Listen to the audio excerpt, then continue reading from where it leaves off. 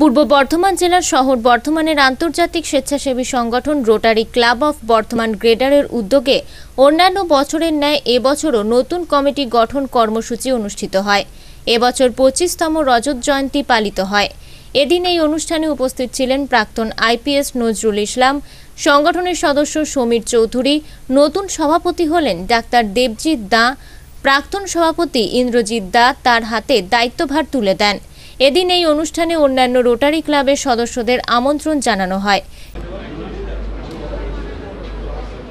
আচ্ছা তো আমরা আজকে এই সুযোগে ওনাকে আবার আবেদন রাখছি রিকোয়েস্ট করছি যে উনি ফিরে আসুন আমাদের ক্লাবে এবং আমাদের মেম্বাররা আমাদের ক্লাবে ফিরে এলে আমরা কিন্তু আরও শক্তিশালী মনে করব।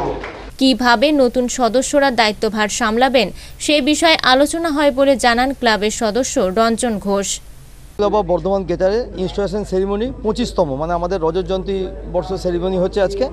আমাদের এখানে চিফ গেস্ট হিসাবে আছেন রিটায়ার্ড আইপিএস অফিসার আপনাদের অত্যন্ত পরিচিত নজরুল ইসলাম উনি রয়েছেন। আমাদের district governor past district governor Samir Chowdhury, উনিও গেস্ট অফ অনারে আছেন।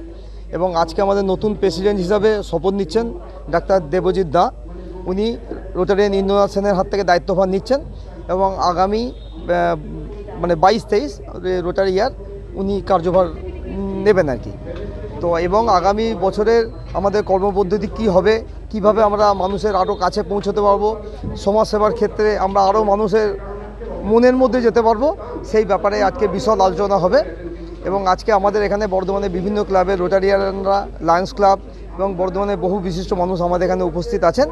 আজকের অনুষ্ঠানের মাধ্যমে আমরা আগামী বছরের কর্মপদ্ধতি আমাদের শুরু করব আজকে। কি কি হয় আমাদের এখানে ব্লাড ডোনেশন থেকে শুরু করে কৃতি ছাত্রছাত্রীদের সম্বর্ধ- সম্বর্ধ- সম্বর্ধনা তারপর থ্যালাসেমিয়া স্টুডেন্টদের জন্য বিভিন্ন প্রোগ্রাম থাকে। কৃতি ছাত্রছাত্রীদের সম্বর্ধনা বৃক্ষরোপণ বিভিন্ন আমাদের সামাজিক অ্যাওয়ারনেস থেকে শুরু করে বন্যা দুর্গত মানুষদের পাশে দাঁড়ানো। সারা বছরই আমরা আমাদের আমরা মানুষের কাজের জন্যই থাকি এবং মানুষের সেবার জন্যই আমরা নিয়োজিত। বর্ধমান থেকে পিন্টু প্যাটেলের রিপোর্ট, আনন্দ বার্তা।